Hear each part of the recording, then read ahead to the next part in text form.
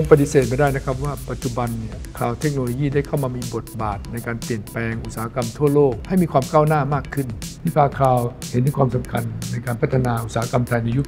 4.0 จึงอยากแชร์ประสบการณ์จากการที่ได้ร่วมงานระดับโลก อย่าง Open Infrastructure Summit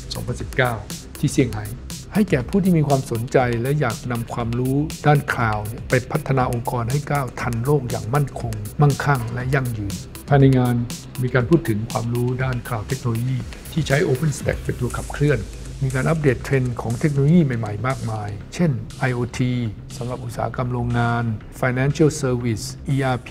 อย่าง SAP HANA AI และ Machine Learning อีกทั้งตัวอย่างการใช้งาน OpenStack ในรูปแบบต่างๆ ขององค์กร ชื่อดัง เช่น Shanghai Electric China Mobile Tencent CERN Line รวมถึงการแชร์ประสบการณ์การสร้างระบบ Nipa Cloud Platform ที่พัฒนาจาก OpenStack นอกจากนี้เรายังมีเวิร์กช็อปการใช้งานพื้นฐานของ NCP ที่จะทำให้คุณสามารถเข้ามาใช้งาน Nipa Cloud เนี่ยได้อย่างง่ายขึ้นด้วย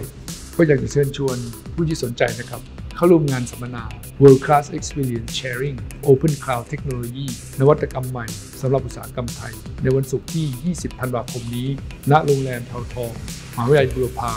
จังหวัดชลบุรี ผมมั่นใจว่าจะเป็นงานที่ให้ความรู้สาระสำคัญ